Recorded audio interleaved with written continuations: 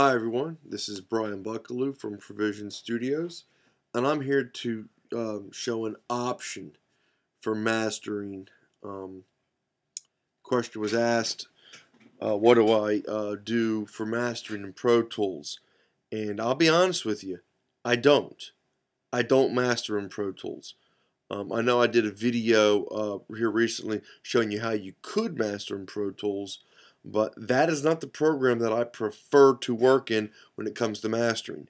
I strictly use Pro Tools for um, uh, recording and mixing down um, projects that I work on, but my go-to program for mastering is Studio One. I found that um, the Studio One project uh, page is the uh, best way, in my opinion, to um, put together a multi-track project or even just a song. And here you'll see what I've got here is I actually have a 17 song live album that I recorded for a band. Uh, it was recorded live on site. Brought the whole session into um, in individual tracks. I had uh, they were a bass, guitar, drum, piano, and accordion. Um, each one was uh, uh, was mic'd up individually. Brought all the tracks into Pro Tools, uh, mixed it down for them to their satisfaction, um, uh, bounced it all down to individual clips, and imported each one here into uh, Studio One, and then um, added uh, my mastering and recorded a uh, uh, a, uh, a CD that I sent off to disc makers uh, to be uh, pressed uh, for their for them to sell. The reason why I like PreSonus for this the step um, the mastering specifically is all of the options that gets you to, that allows you to do when you're done working. Um, you can see here you can burn it so if I hit the burn button, it's going to allow me to, if I had a CD in my in my drive, it's going to allow me to burn an audio CD. So I can make a copy, hand it off, and say, okay, here's a copy of your CD. What do you think? Also gives you ability the ability to make an image.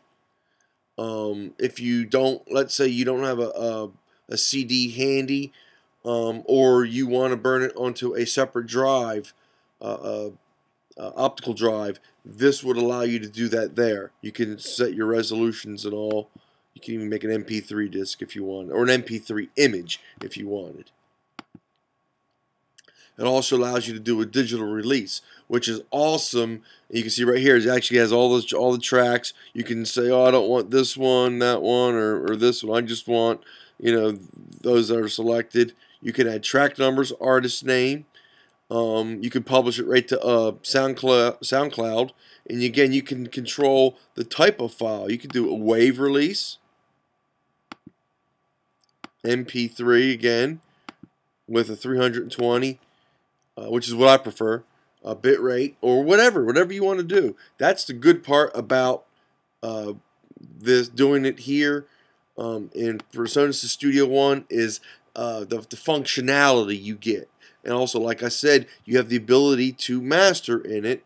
Um, you can browse for effects right here on the browser window. You can see you can drag and drop right into these lanes.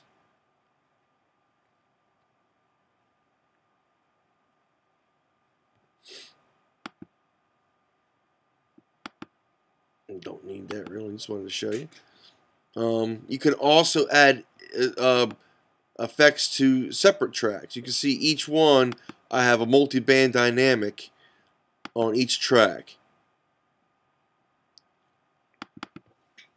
Anyway, the whole purpose of this is the question was asked of me, how do I master and what do I use to master with? I use Ozone in Studio One uh, exclusively. This always works for me. I get great results, and I haven't really found anyone to say uh, your mastering is lacking. Um, you can see that other video if you would like to see some of my concepts. I used the same concepts in that previous video that I uh, did here. Um, I move my EQ2 to the to the to the end.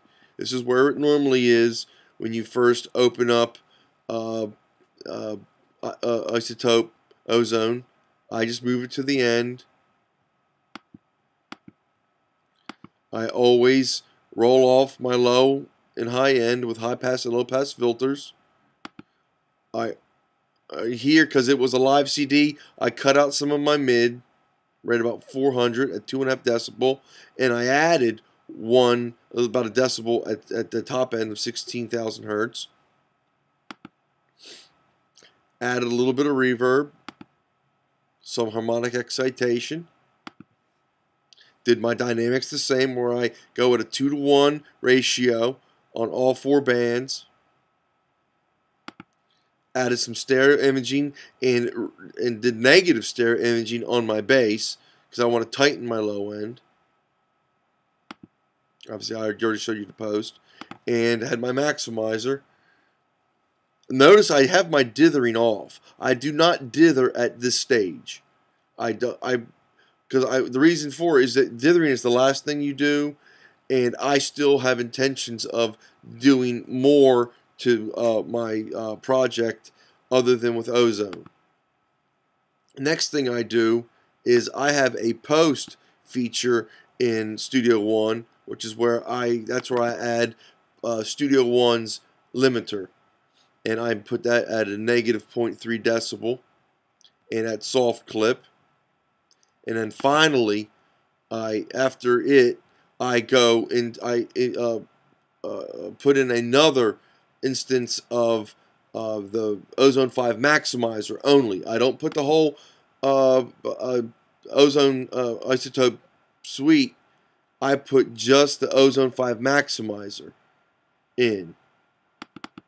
And this is where I put in my dithering. I can see I put my I have my dip my bit depth at 15, uh, and I have high noise shaping, and uh, that's really it. That's how I do my um, mastering.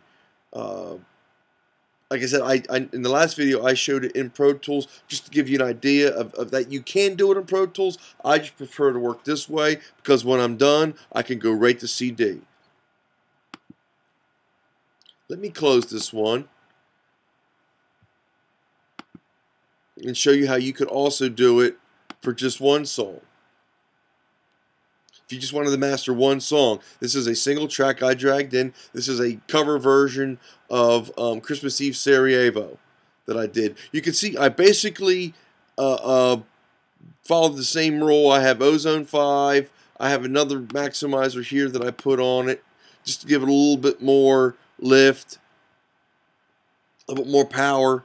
Um, I put the, another limiter here, the uh, PreSonus limiter, followed by the Ozone 5 maximizer again, and this one really is just there for dithering. I, I do have the threshold set to an, an additional negative one and a half, which will give it a little bit more punch, but I really, this final maximizer that I put in the post section of uh, uh, Studio One, I normally just use it just to put that dithering at the end. I prefer the Ozone fives dither over most others because of its quality that of dithering that that it gives you.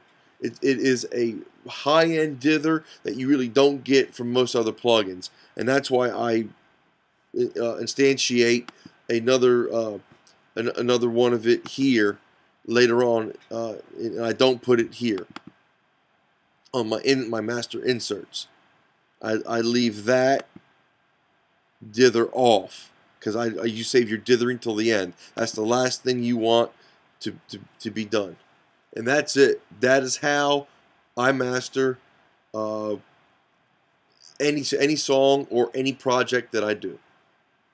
Thank you very much. Uh, if you have any questions, please uh, email me at brianbuckalew at yahoo.com. B R I A N B U C K A L E W at yahoo.com, or you can contact me uh, uh, um, on my website, which is provizionstudios.com. P R O V I Z I O N S T U D I O S dot com, or you can comment to this video uh, uh, down below. Thank you very much, and Merry Christmas and Happy New Year.